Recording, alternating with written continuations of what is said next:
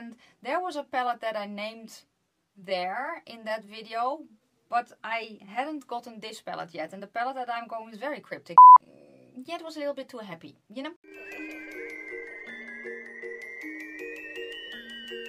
Well, hello my lovely nestlings and welcome to my channel. If you are new, welcome. My name is Nikki. I'm 44 from the Netherlands, hence the accent. And today I have a fun video, or at least I think so. It is the I If I Can Only Keep One. And this is eyeshadow palette edition. Um, I don't know if this was a tag. Um, if you do know, please let me know. I have seen this one, I think, floating around in one form or another. And I was like, you know what?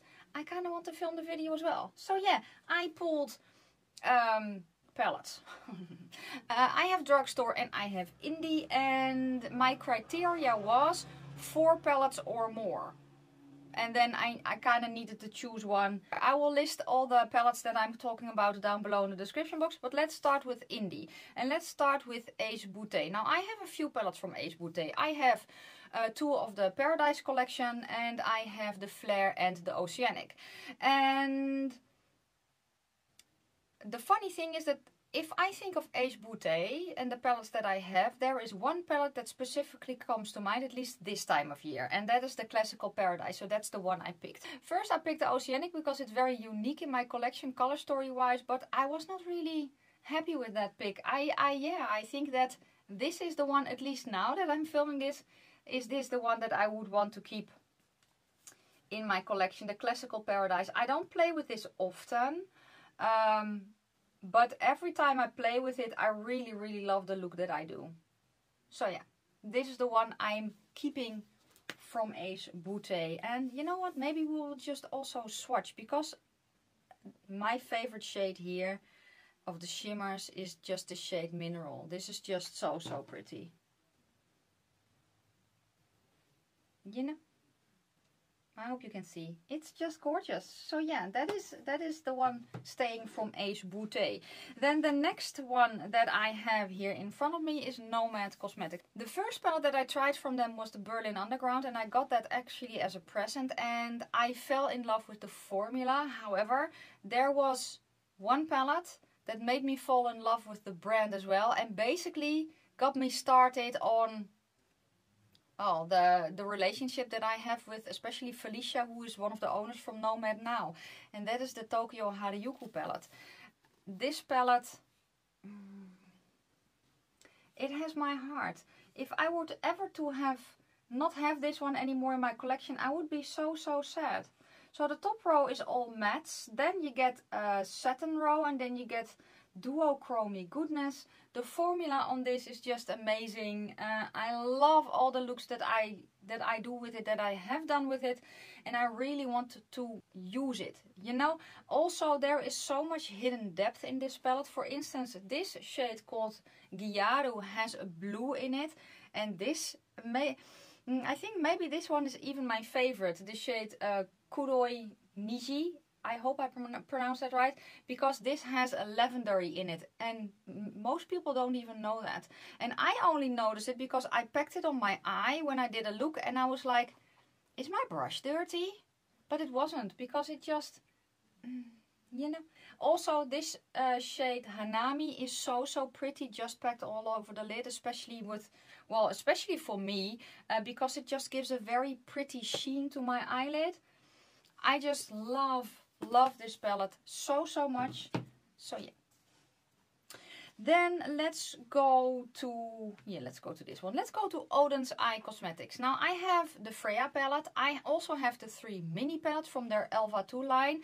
The one that I pulled is well, basically the first one that I that I ever got from them, and that's the Freya palette. It was also their very first eyeshadow palette.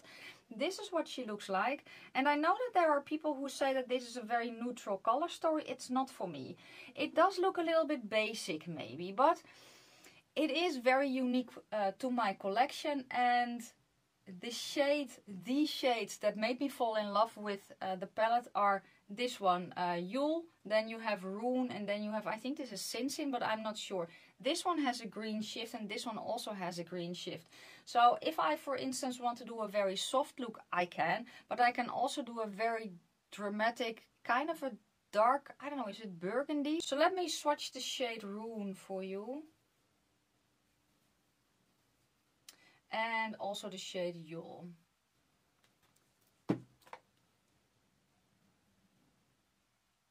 Here? And then this one almost makes your eyelid look wet. It's just so pretty, especially if you kind of tap it a little bit over this one, you know. Let me let me see if I can do that. Of course I can.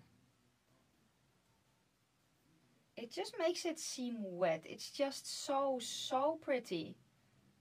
And I love the whole aesthetic of the brand as well. I am so happy that they have decided to send out more PR because they just need to be discovered by more people, you know? So yeah. Okay. Oh, did I? Uh, yeah, I do have discount codes with some of the brands here, and th those will be down in the description box. Um, and I think there's only one palette in PR, and the rest I bought. So yeah, if you want discount codes, go check out my description box because I do have some.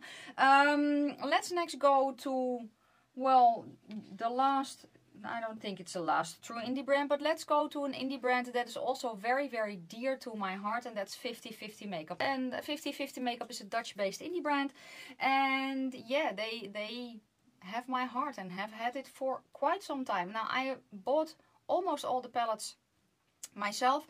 My current mood is a little bit, I don't know, autumny, grungy, you know, and I rem I recently did a video uh, talking about my autumn palettes, my favorite autumn palettes, and there was a palette that I named there in that video, but I hadn't gotten this palette yet. And the palette that I'm going is very cryptic. The palette I'm going to talk about now, the one that I pulled, is actually their autumn palette. This, for me right now, is my favorite palette that I have done. The color story on this is just so, so yummy. Uh, so I did a first impression with this palette. I did eye swatches and the review and I did a multiple looks. And still I really want to play with this palette.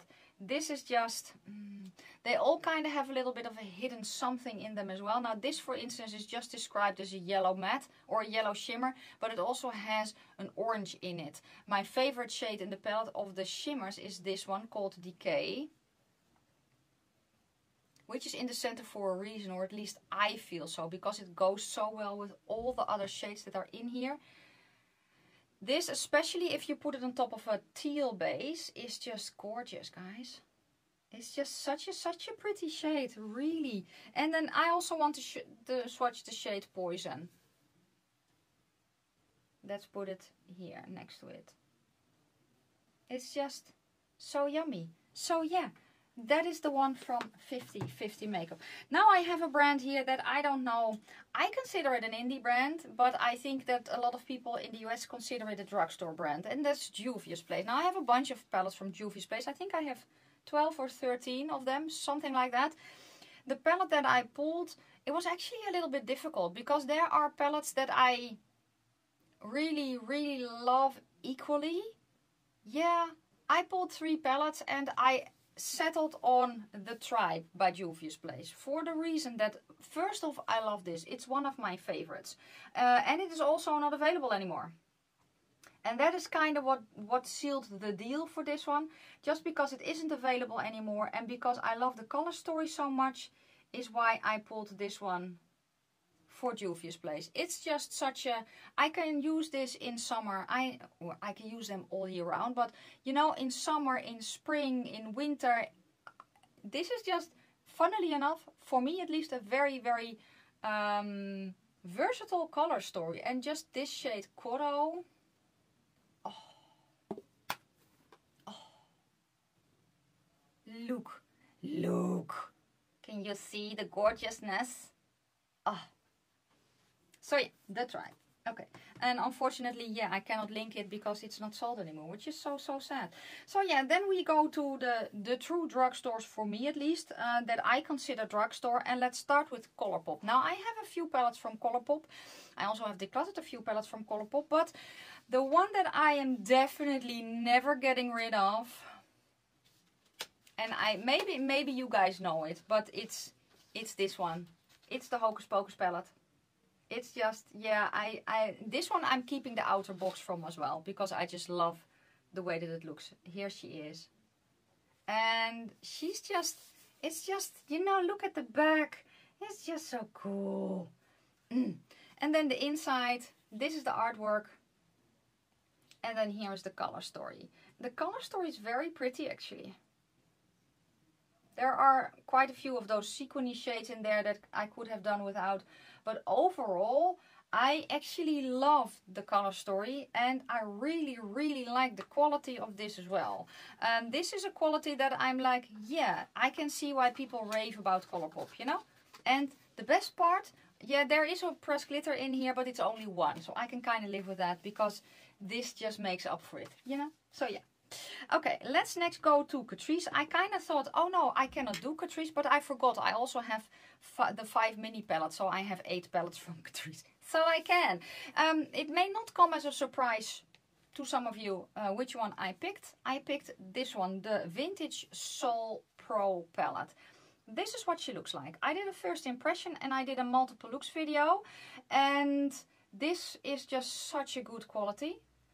Uh, and I really, really love the color story as well.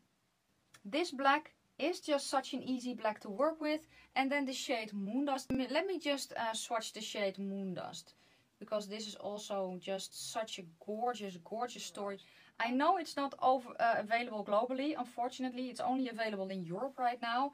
And I just found out that Cosmetic for Less does not ship to the USA. It ships everywhere else, but they are not allowed to ship to the USA. Um, I, I think it will come to the USA though, because I know that the Earth palette and the Nudes palette, the other two in this line, have just come to the USA. So I know it's coming your way. I just don't know when. I'm sorry.